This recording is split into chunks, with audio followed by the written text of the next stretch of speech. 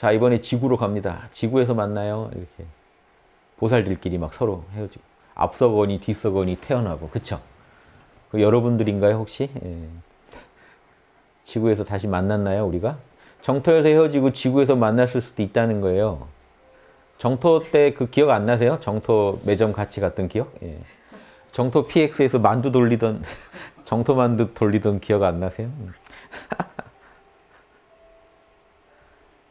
여기서 근데 재교육을 좀 받으셔야 돼요. 너무 잊어버리셨어요.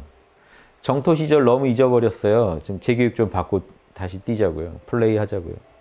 만두는 지구 만두가 짱이라면서 빨리 내려가자고 했던 기억나시나요?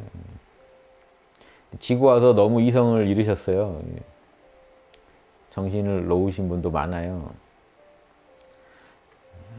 제가 옛날에 아, 이 얘기까지 드리고 끝낼까요? 꿈을 꿨다니까요. 진짜로 정토에서 정토에서 지구로 사람들을 파견했어요. 제가 파견해서 007 가방을 들고 저도 파견돼서 왔어요. 왔더니 먼저 온 사람들이 그 호텔 방 같은 데 있는데 먼저 도착한 그 보살들이 정토에서 온 미쳐 있더라고요. 침대 위에서 막 뛰고 있어요. 바닥에서 막 구르고 있고.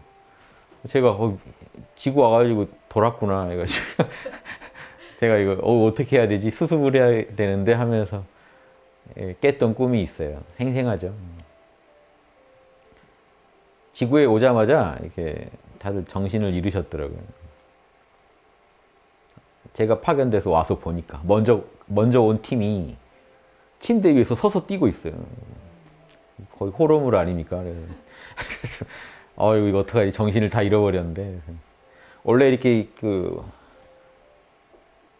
별간에 또 이렇게 막 이렇게 이동하다 보면 정신 좀 잃고 그럴 수 있죠.